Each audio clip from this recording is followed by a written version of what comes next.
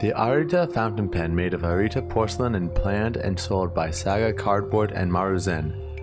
is a fountain pen that blends 400 years of traditional Arita porcelain with the expertise of the Sailor Pen Company, which has a reputation for fine quality pen tips.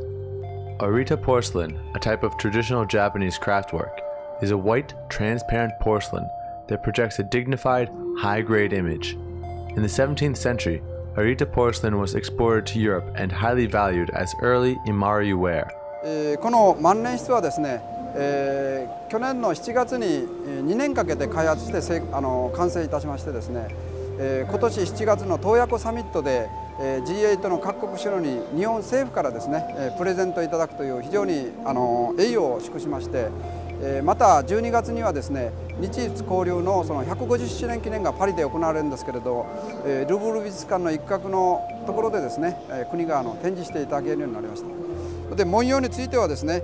あの世界万博で64回ぐらい大勢をもらったその高覧車力ですねそれから300年の、その有田で三右衛門と言われるですね、えー、芸門窯とブランドのあるところとタイアップしてですね、世界中誰も持ってない、えーものを作ることができました。えー書きやすくて、えー300年400年後世のうん子孫にも宝物として残せる一品が出来上がったというふうに思っております。The Koransha style fountain pen is available at a price of 150,000 yen, and the Gen Emon Kiln style pen is being sold for 250,000 yen. Three versions of each style are currently available. Dig Info News.